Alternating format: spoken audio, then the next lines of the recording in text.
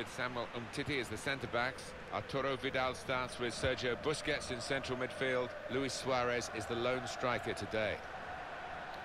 Here's the Chelsea lineup. Antonio Rudiger plays alongside David Luiz in the heart of defence. Pedro plays... Kante! Right from the kickoff, they look like scoring they have now. Sharp from the off, and what a good goal.